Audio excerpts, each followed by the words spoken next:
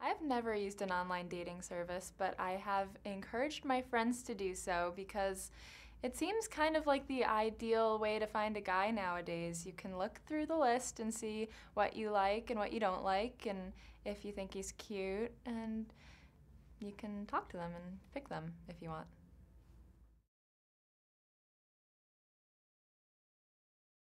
I think evolution should be taught in schools because not everybody necessarily has the same religious background, and it's important to have scientific facts about the world.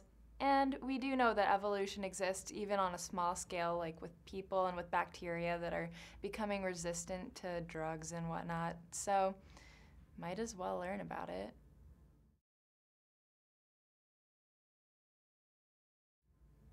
I do not feel very well about a tasteful nude photo shoot. I am a nurse, and we're trying to get away from the image of nurses in like skimpy little scrubs with the gloves and everything. And I don't think me and a nude photo shoot, no matter how tasteful it was, would resonate very well with my mm, professional aspirations.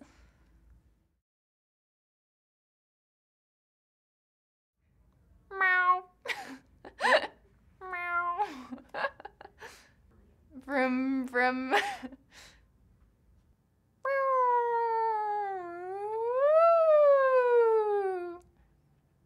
Cha-ching! I've never played the slots before.